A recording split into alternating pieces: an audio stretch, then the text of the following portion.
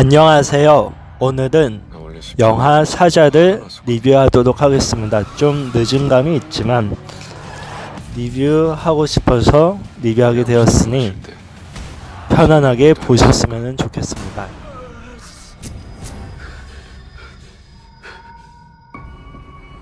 솔직히 말씀드리면 이게 정상보다 훨씬 더 건강하신 편입니다. 내가 왜 이래요? 영화 사자는 얼핏 보면 용우의 성장담으로 보입니다. 어린 시절 증상을 입은 아버지를 살려달라는 기도가 응답받지 못해 이름을 잃은 용우가 바티칸에서 파견된 구마사제의 안 신부를 만나 믿음을 일정 부분 회복하는 성장담을 마- 담은 영화입니다. 사람들을 홀려서 악마한테 제사를 지내는 사제들이 있어. 검은 주교라고 부르는데 내가 그 검은 주교를 찾아내야 돼. 왜 가만히 있어요? 하지만 영화 사자를 엄밀하게 살펴보면 용우엔 선장은 관심이 없습니다. 용우에겐 진정한 선장이 일어나는 걸 바랐다면 서사 진행에 있어 어린 시절 잃어버린 믿음을 회복하는 과정이나 혹은 어린 시절 아버지를 살려달란 기도가 왜 신에게 응답받지 못했나에 대한 해답이나 힌트가 영화 가운데 용우에게 주어져야 했습니다. 건강하신 편입니다. 내가 왜 이래요? 침남 쪽에 십자가가 있대. 십자가 거길 가면 널 도와줄 사람이 있어. Sanctus, Sanctus, Sanctus, Dominus Deus Sabaoth.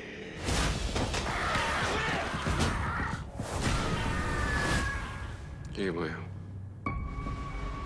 하지만 사자는? 이런 부분에 있어 일절 관심이 없습니다. 용호가 어린 시절 상실의 회복엔 도무지 관심이 없습니다. 사자는 외향적으로 신의 힘을 빌려 악을 물리치는 신본주의 영화도 볼지 모르겠지만 알고 보면 인본주의적 마인드를 가진 영화입니다. 영화 마지막 부분에서 빌런과 대적할 때 용호가 누구로부터 힘을 얻는가를 잘 살펴 힘을 주소서. 봐야 했습니다. 용호가 빌런과 대적할 힘을 갖는 궁금, 궁극적인 원천은 신의 권능이 아니었습니다. 용호의 손바닥엔 그 옛날 예수가 십자가에 못 박힌 자국인 성흥이 있습니다. 침남 쪽에 십자가가 있대. 십자가 거길 가면 널 도와줄 사람이 있어. Sanctus, Sanctus, Sanctus, Dominus Deus Sabaoth.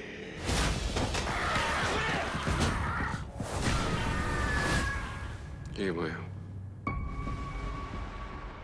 나 그딴 거 비지도 않는데 이게 왜 생겨요? 손바닥에 나타난 성흔이 용호의 선장을 도울 거란 예측을 할 수 있습니다. 하지만 사자서 성흔은 그저 테마를 위한 수단일 뿐이었습니다. 왜 성흔이 나타났는지 혹은 성흔이 용호의 잃어버린 믿음을 회복시킬 단서가 될 것인가에 대해선 도무지 관심이 없습니다.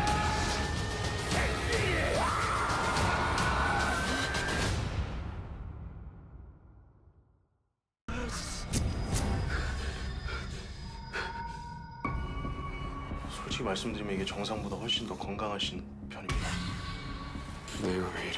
영화 사자는 검은 사제들처럼 정통 테마물로 진행할 생각이 애초부터 없는 영화였습니다.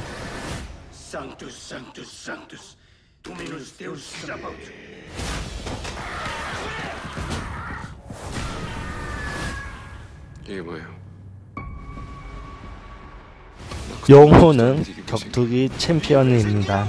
이 영화를 전통적인 퇴마물로 만들고자 했을 경우 주인공을 사제나 혹은 영적 권위를 가진 종교 지도자로 묘사했을 게 분명합니다. 하지만 용후를 영화 검은 사제들 속 강동원처럼 신학생이나? 종교 지도사가 아닌 격투기 선수로 설정했다는 건 이 영화가 구만을 진행하는 과정에 있어 정통 구만 방식이 아니라 다른 과정에 보다 많은 관심이 있다는 걸 보여줍니다. 즉 용호라는 격투기 선수 캐릭터를 통해 액션 카타르시스를 추구하고자 하는 야망이 영화 안에 담겨 있다는 이야기입니다. 격투기 선수라는 캐릭터 덕에. 사자는 기존 테마 영화와는 달리 구마 의식에 있어 Sanctus, Sanctus, Sanctus, Dominus Deus Sabaoth.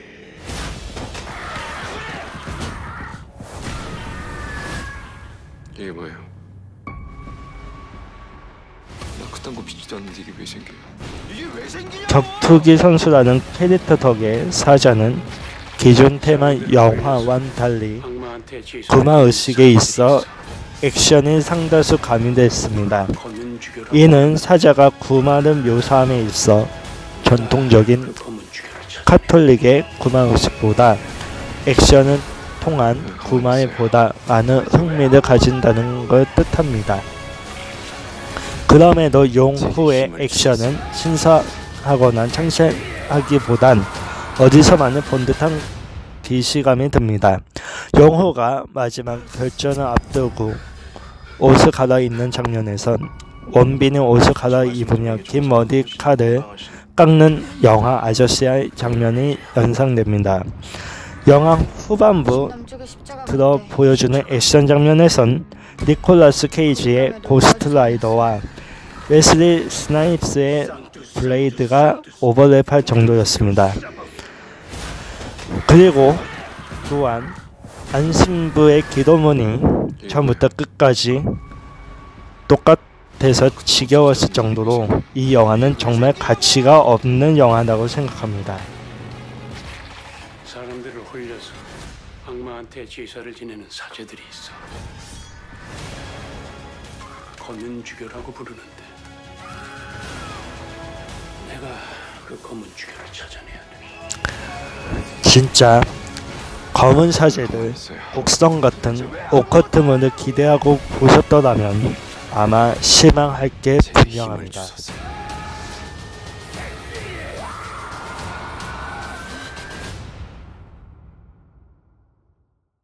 악마한테 제사를 지내는 사제들이 있어. 검은 주교라고 부르는데 저는 이 영화를 내가 그 보면서 내가 이거 왜 봤지? 라는 생각이 들 정도로 실망이 컸던 영화였습니다. 이상으로 영화 사자 리뷰 마치도록 하겠습니다. 좋아요와 구독 부탁드리겠습니다. 감사합니다.